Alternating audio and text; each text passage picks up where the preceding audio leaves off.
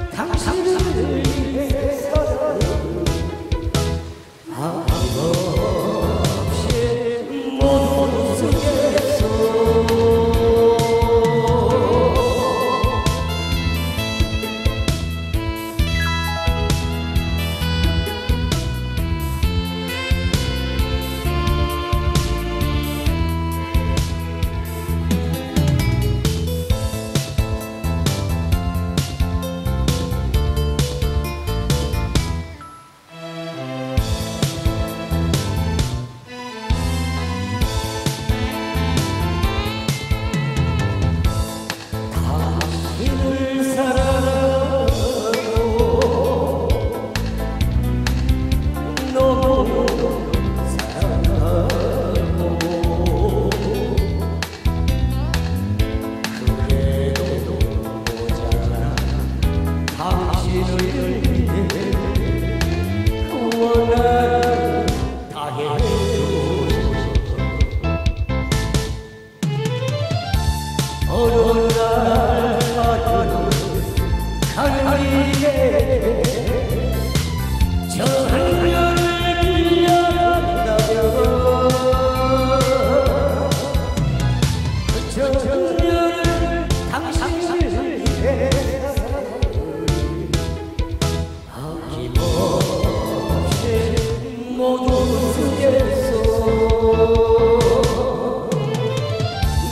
사랑하게